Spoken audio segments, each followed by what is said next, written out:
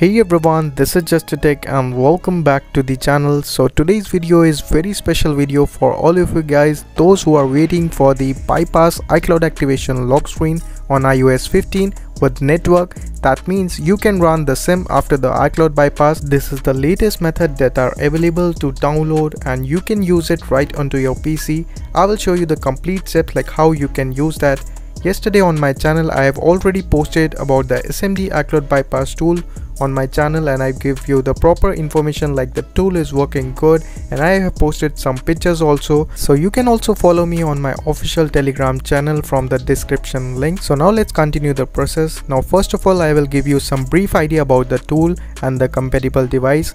So if you have the iPhone 6s iPhone SE first generation iPhone 6s Plus, iPhone 7, 7 Plus, iPhone 8, 8 Plus and iPhone X so if you have these model you can proceed with this method. Also if you have a A9 device like iPhone 6s, 6s Plus and iPhone SE first generation you will require the DCSD engineering cable or you can use the Magico cable that is only required for A9 device but for the other devices like A10 and A11 chipset like iPhone 7, 7 Plus, iPhone 8, 8 Plus and iPhone X the normal lightning cable will work.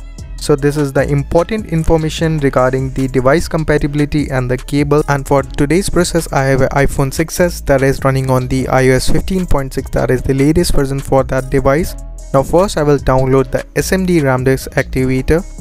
For the download links you can check out the description. You will get on my blog and you will get all the required download links after the download simply install it. Now for the first time maybe the app will allow you to trust from the security and the privacy. If it's not opening you can allow it from there. And after that it will open. Now first of all you will require to check the compatibility of the device. So it's very important. You need to connect your device into the normal mode first. After it detect by the tool it will show your device is supported with the signal or not. Majorly this is the initial update of the tool and most of the devices are not supported with the signal but if you have any device that are supported you are lucky. As I have another iPhone 7 I have connected with the device but it's showing no signal with this device. But for the iPhone 6s that is supported with the signal. Now I got many questions from the people that their device is showing no signal because there are some devices that are sim locked or a carrier locked or you can say blacklisted device or there are some tethered policy restriction on that device. So maybe because of that they're showing the no signal. But if your device is clean and still showing the no signal means you need to wait for the next future update as this is the initial update of the tool. So this can be fixed by the future update. So wait for it and after that you can easily use the device and with the sim working. So now you have to just connect your device now once everything is set you have checked the compatibility and it's showing supported with the signal. You are ready to use the tool. You have to register your ECID you can copy the ECID from the SMD activator. You need to just click on that. After that it will automatically copy the ECID on the clipboard. Now you can contact me there on my social media handle. You can check out the description link. You will get all my official social media handle links there you can contact me on telegram for the fast response. After that you can send me the ECID with the mentioned model number and I will register that. And for the prices I will display the list on the screen so you can check that out. After you connect your device you need to first click on the start button. It will open the recovery mode directly to put your device into the DFU mode or you can put it by manually also. But I will recommend you to open with the tool so that everything will go smoothly now just put your device into the DFU mode.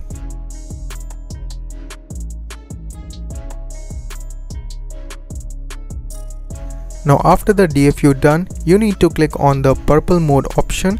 This will put your device into the purple mode.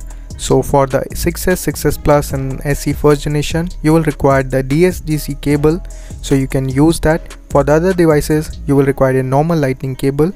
After that, your device will go into the purple mode as your device serial number will automatically change. So make sure that you will copy the original serial number somewhere else so that you can use it in the future. After that you will see the SMD logo on your device. Now you can see that my device is color change and it's on the purple mode and it's an automatic process. Your serial number will change automatically. So now wait for it to get complete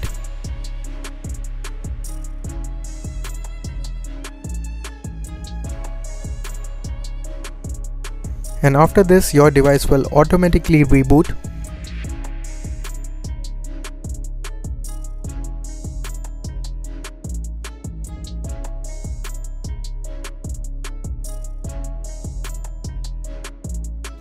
Now once the device is on again, you can recheck the serial number, now it's changed. So that's why I told you copy your original serial number safely somewhere else for the future use. Now you can see that we have successfully changed the serial number now you need to click on the start button again to repeat the process of the DFU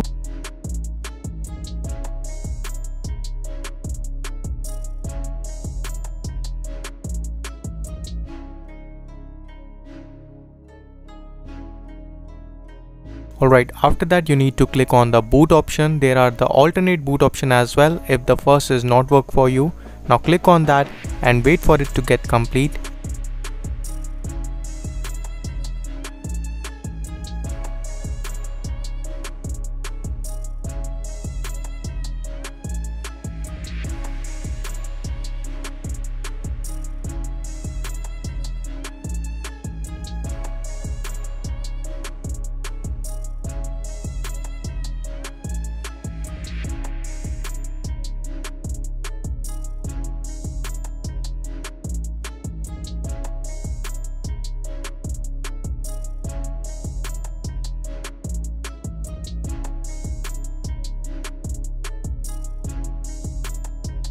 Now once it will done just click on the activate button. If you want to skip the setup you can click on the skip setup option. It will directly redirect to your home screen after the bypass.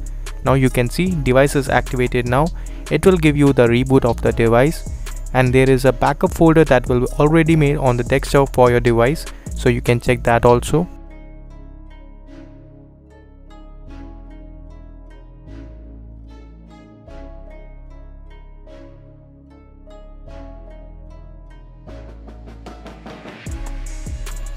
Now the device is successfully bypassed and it's on the home screen as we have clicked on the skip setup option. So now you can see there is no Apple ID bound in the setting. So the device is working normal. So first let me just disconnect it. After that let me just insert the SIM card and show you the SIM is perfectly working.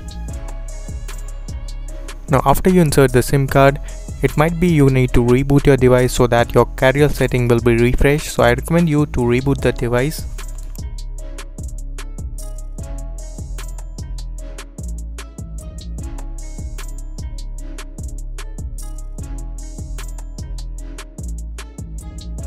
So now you can see on the screen we are getting the signal on the iOS 15 after the bypass. So let me just place a call and show you that the calling is working good. So now you can see that we have successfully bypassed our device with a full activation service. So now you can sign in to your own Apple ID account. The iCloud login is working. You can use the Siri, App Store and the other things.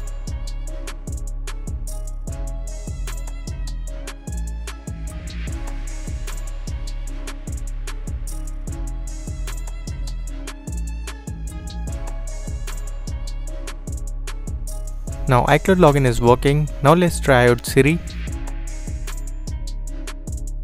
Hey Siri, open the Safari.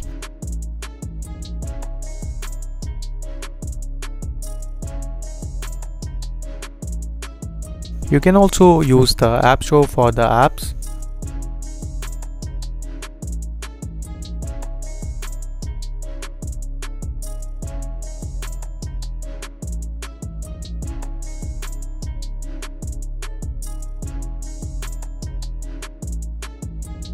Now App Store is also working and this method is untethered bypass method. Like if you reboot your device it will not lock again so you can reboot it normally